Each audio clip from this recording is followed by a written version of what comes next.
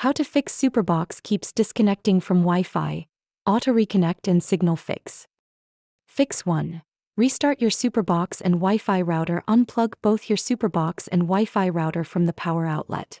Wait for at least 2 minutes. Plug them back in and power them on. Reconnect your Superbox to your Wi Fi network and check if the connection stabilizes. Fix 2. Forget and reconnect to Wi Fi network. Go to Settings on your Superbox. Navigate to Network and Internet. Select your Wi Fi network and choose Forget Network. Reconnect by selecting your Wi Fi again and entering your password. Fix 3. Switch to Ethernet wired connection.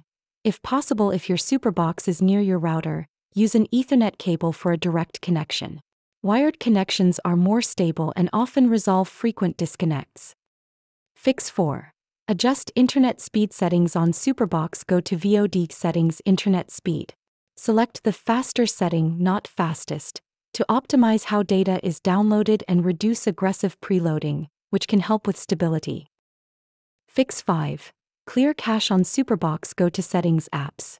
Select the app experiencing issues or the system app. Choose Clear Cache to free up resources and potentially fix connection drops. Fix 6.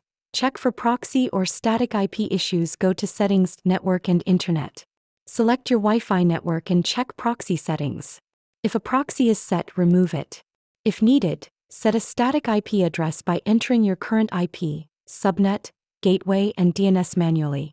This can help if your box struggles with dynamic IP assignments. Fix 7. Reboot or reset as a last resort. Go to Settings, Device Preferences, Reset. Confirm and let the box restart.